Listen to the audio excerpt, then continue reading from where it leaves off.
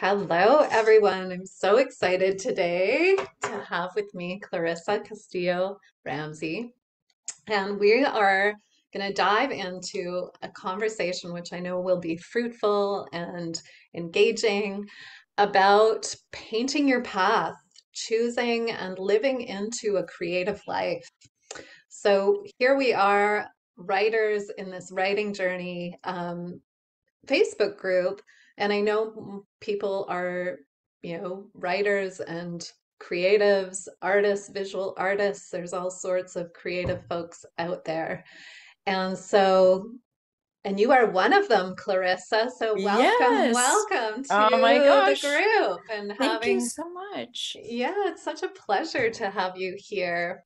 So I wonder if you would share with folks a little bit about who you are and your background and whatever whatever else you want to share. Whatever. All right. So thank you so much, Traci, for having me in your community. I'm so excited to be here. And gosh, what can I say? I'll try and be um, a little concise and not wander off too much. But I like to describe myself as a multi passionate person. Ever since I was a little child, I so resonated with the art world and declared myself as an artist at the age of five. And my parents are both physicians, came here from the Philippines. And so they're very practical. And when I told my mom that this is what I this is what I want to be, this is who I am, she just said, Oh, child, you're gonna, you're gonna be rich and famous after you pass away, like Pablo Picasso. and, and I was like, uh, uh-oh, maybe I need to you know, think about doing something else. And I remember feeling a little bit crushed in that. Mhm. But my, you know, my my art my artistic spirit never went away. So so the muse would come and go throughout throughout my life. And something else that I knew at a very young age was I just loved connecting with people. I loved Mhm. helping people. I loved encouraging people. And and that's something that has has always been true to me so i'm going to fast forward so i spent my corporate careers just trying to fit myself in to different positions going the practical route getting a good grades getting a good job bup, bup, bup, bup, bup. but within me was just this unrest of Mm. i'm not really truly expressing myself 100%. I'm still hiding. I'm not fully doing my artistic work or my coaching work. Yeah. And I did have jobs where I kind of expressed that. I used to be a graphic designer for the Coffee Bean and Tea Leaf, and that was so much fun until it wasn't fun anymore. Mm. And we grow, we expand. And then I was like, okay, I think it's time for me to get back to this coaching world and and really trying to help others be the best that they can be so i went to grad school and i landed my dream coaching job and that's what i did for the last 11 years Mhm. and then in 2021 i said okay it's time for me to pivot again and so i left to pursue this creative path that i'm on now Okay, that's like, yeah, that's a journey. And I think I always think it's so interesting that call, and I see it a lot in writing circle with writers that there's this kind of calling to come forward and do the writing, and yet there's also the practical reality of living in this world.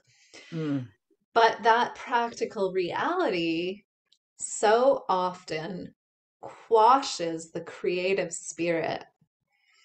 And can you talk about like what that does to a person in terms of not not just psychologically, but like how we can how we can open up to that, you know, we might be afraid to to to leave that safety of the practical, the job, the 11 year dream job, whatever. So what did you like what what did you decide or what what pushed you out of that safety zone yes into that just like unknown because that's the creative life is a lot of unknown. Yeah, it really is. And that's such a great question, Traci.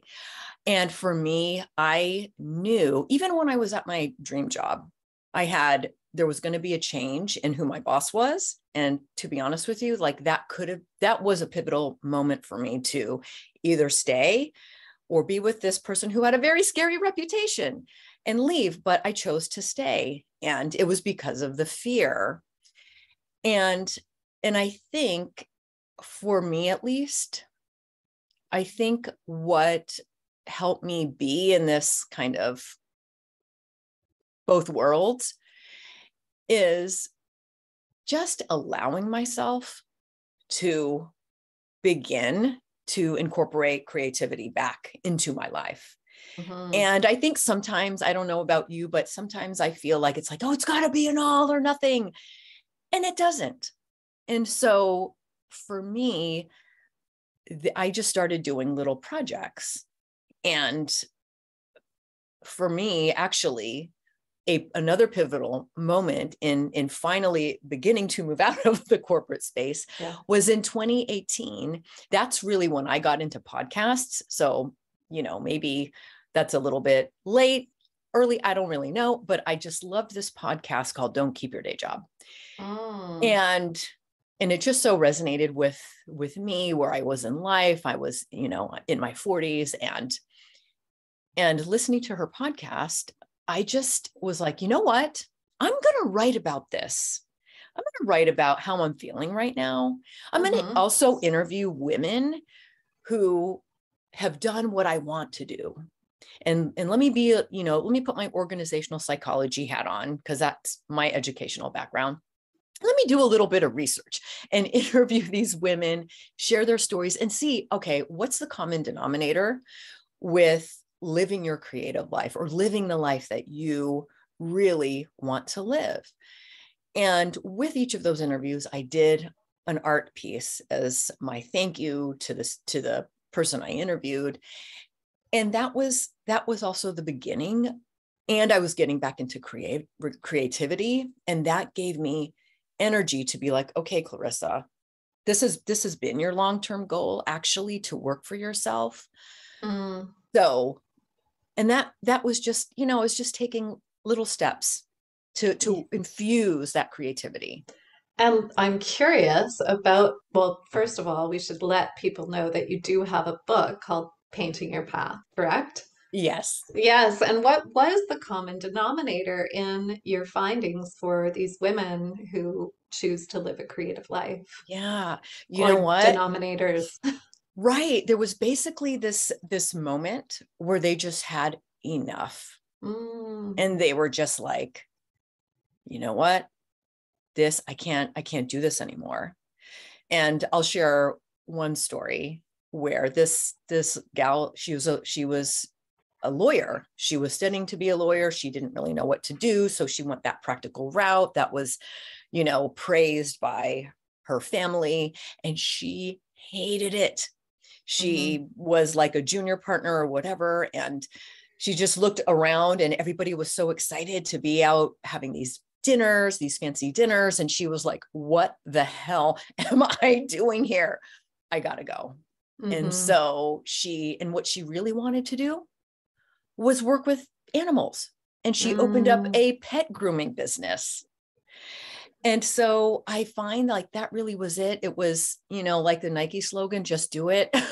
and really, truly, that was it. It was just like leaning into, you know, being being open with yourself like this is what i want to even just try this is i'm not going to feel rested until i do this thing. Okay. So let's say you well for for people out there and and Clarissa you work with you work with people who are wanting to make this these changes in their in their lives. But you know for some of us like I'm a I feel like I clear the decks and jump right into new things. But that's not I recognize the way a lot of people need to work and so how do you because as you mentioned before we came on like that can be hugely stressful yes and possibly traumatizing. Oh, yeah. Yeah. So so let's say you're someone, maybe you want to write a novel or you are really wanting to explore your painting more, but the the the there's so much going on in your life and you you're you're not finding yourself making time for the work that is really true to your heart. And you you know you want to. You've got this little compass inside that's really turning you that way. How as a creative that's kind of caught in this capitalist, patriarchal, blah, blah, blah world, do you begin a kind of gentler movement toward that creative life? Yeah. I think, you know, just first by recognizing that it's not an all or nothing. In fact, you don't have to monetize, let's just say, on your artwork.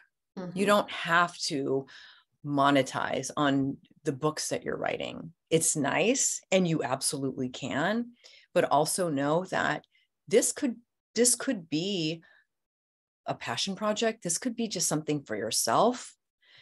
And I also think when we can take a step back and just look at it like that, like you truly have the love for writing, you truly have the love of painting, and just doing it for yourself at first, you don't even need to share it, but maybe you just start there. Mhm. And then maybe you begin to share a little bit of what you're doing. And again, you don't have to. But it's funny.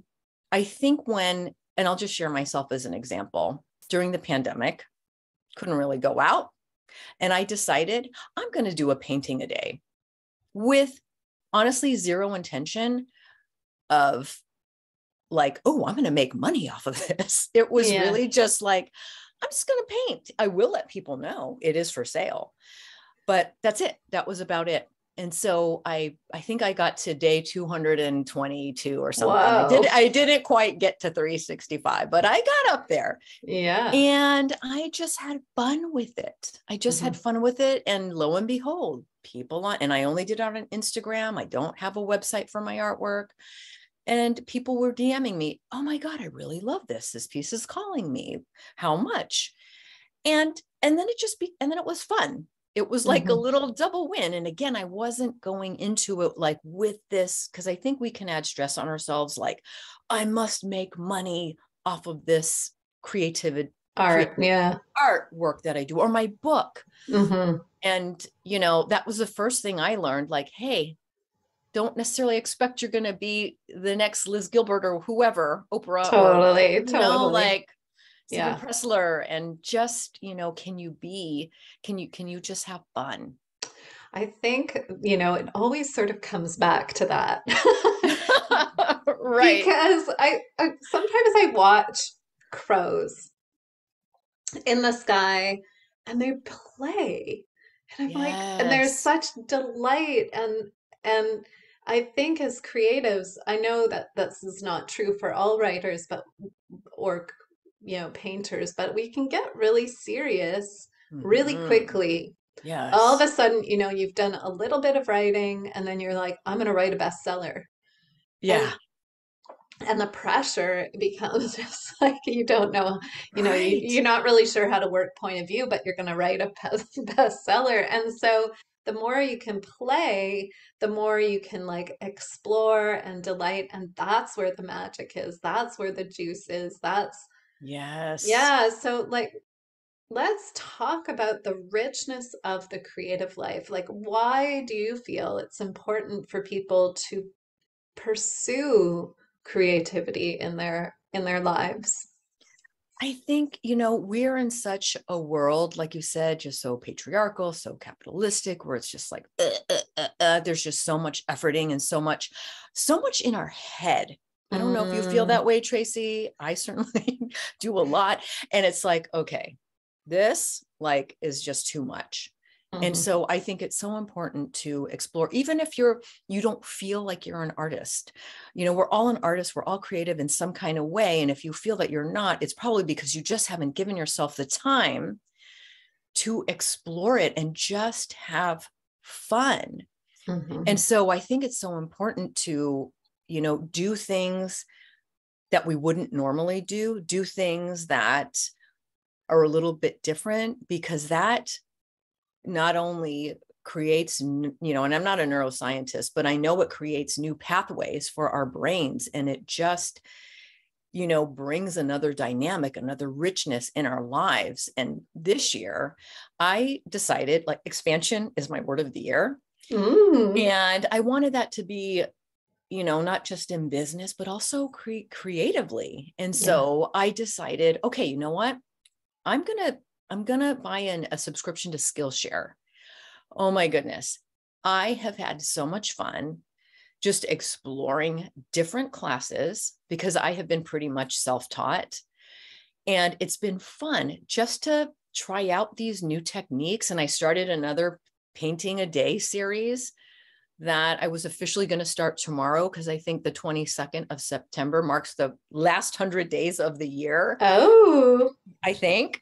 And, but I couldn't wait. I was like, you know what? I'm not waiting. I'm not waiting for this. I'm just going to start now. Yeah, yeah. Yeah. That's such a good I I've actually bought I'm my creative push is watercolor. Oh. Yeah. Yes. And and for me as a writer like the visual of the watercolor the painting is such a delight so it i'm not i'm not like I'm, i want to learn a little bit about it and i also just want to explore on my own because yes i know for myself i want to get good at something and so i want it to be something that i actually don't feel i need to get good at that i can yeah that i can play and that gives my my body space and my mind space to just delight in yes and watercolors there is just so much that you can do with it. Like you could be tight, you could be, and I like just being super like fluid and seeing the colors blend together. Me and, too. and the unexpected. And oh my gosh, it's so fun. Yeah. So it, you know, even this, I guess, to say to, to writers who are, I know there are some writers who are exploring other other avenues of creativity. I've got lots of like fabric workers and textile workers and that sort of thing.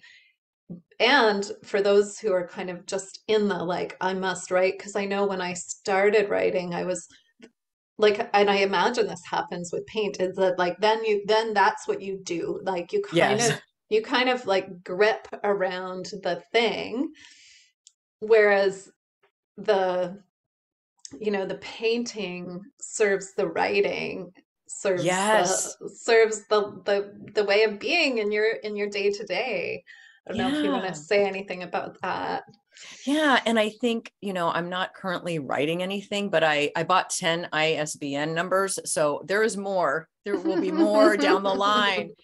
And and for me currently it's just the writing part is journaling. Mm-hmm. I, I'm not always consistent with it, but it's like when I do need a break from painting, because to your point, as a writer, you can just get so focused in. And it's just nice to have like another thing that you can go to, or, you know, maybe it's yoga, maybe it's just movement or being yeah. outside and just having and like pulling from all these different resources to just fill your creative cup. Yes, yes. Because I think too, when you're working on a project, if the project, particularly, you know, there's lots of people who are kind of in the middle of projects and when we're in the middle of projects, we can get really, and fair enough, like they need a certain kind of attention and focus. Yes. And they also need, we need to access the the subconscious and i think through exploration in different venues or going outside and relaxing the brain yes i'm sure they've done studies on this they oh yes they have yeah. that you come you, you do fill your i love that fill your creative cup because that focus that intense like over that pressure can deplete us.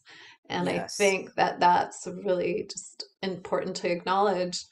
And if you are a writer and you are curious about visual arts, you could even paint out some of your scenes and it doesn't have to be pretty. You don't right. have to show it to anybody, but there's some sort of expression that's happening there on the canvas or on the yeah on paper. on watercolor paper. Yeah right. Absolutely. Absolutely. Yeah. so if people um, are interested in your book we'll put the link down below. Um, and and maybe you can tell them a little bit about your book but also what you do when you work with clients because I know that you help people make that transition if they're interested in transitioning out of kind of the nine to five corporate world into a more creative um, life. Yeah lifestyle. More, yeah, lifestyle, and it doesn't have to be a job, but it can be something that they want to focus. So maybe you can talk, speak to those two things. Sure. Yes. And so I am really enjoying working with people who were basically kind of like on a on the path that I was on. And what I love to tell my clients is, look, you don't need to you don't need to quit tomorrow because a lot of people that I work with, they're at the at the top of their career they're making good six figures and and to to give that up or you know to transition that can be really scary. So i like to put what i call a corporate escape plan together and just really help help them map that out however you know how many however many years. So that's part of it. And then what i also love to help my clients with is just to explore all the creative things that you can do as an artist, as a musician, um, as a as a writer, and you know, and just like have them play and think mm-hmm. about like, okay, if you were to design your next chapter incorporating your creativity, how could that look? And so for a lot of my clients, they're also multi passionate like I am.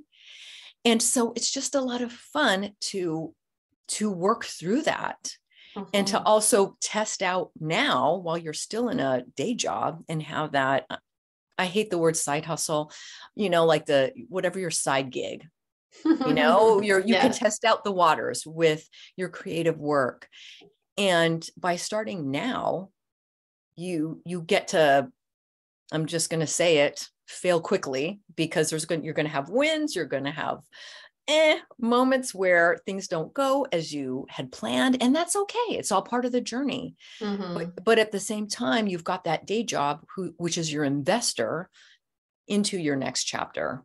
Yeah.